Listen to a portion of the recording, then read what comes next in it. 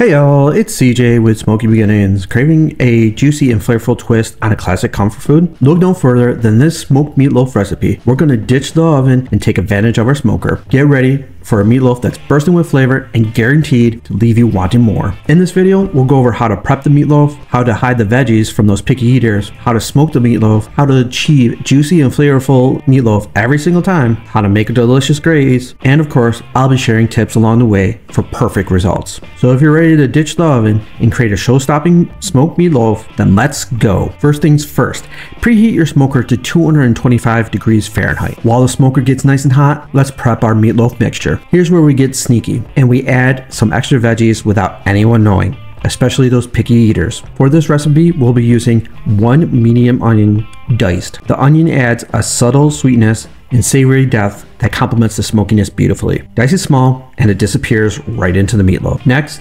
shredded carrots and diced tricolored peppers add a touch of natural sweetness and moisture to the meatloaf. They also provide a bit of color that won't raise any red flags with those picky eaters. The key here is to chop them as finely as possible, or you can use a food processor. For an extra kick, add some jalapenos, don't forget some breadcrumbs, and for spices, add minced garlic, onion powder, freshly cracked salt and pepper. Oh, and sneak in some bacon in there too, along with egg as a binder, and then mix everything together to make sure everything is incorporated really well. Now, smoking a meatloaf is awesome, but if you were interested in learning how to cook a meatloaf on a charcoal grill, I have covered the whole process in detail in a previous video. Stay tuned until the end of this video where I'll have a link to that video. And while I have you here, make sure to like and subscribe. Not only are you supporting a small channel, but you're playing an integral part in helping the channel grow. Now it's time to form the meatloaf. I have this rectangle grill tray and what I like to do is spread the meat out in a thin layer. Then I'll take one edge and fold it right on top of itself. Then I'll continue to shape the meat into a loaf. I found that this tray allows the meat to take on more smoke and allowing me to easily move it on the grate.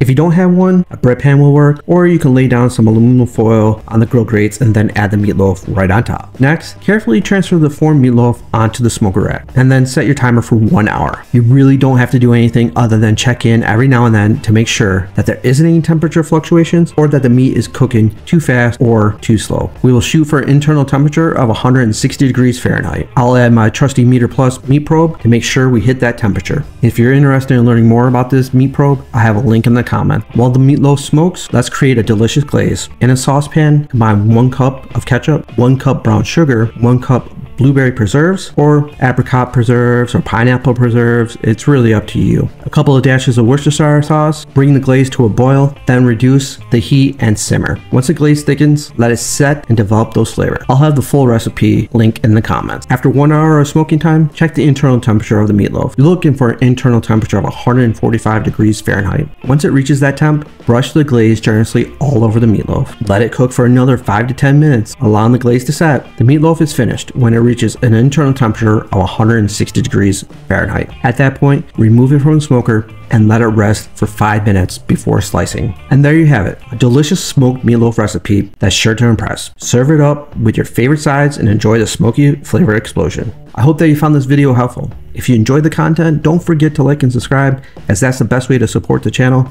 And if you really like this video, check out the playlist suggested at the end. It features recipes for steaks, chickens, pork, vegetables, briskets, and a whole lot more. For more great recipes, visit my website, smokybeginnings.com. And until next time, keep those fires burning and those taste buds tingling. Have a good one.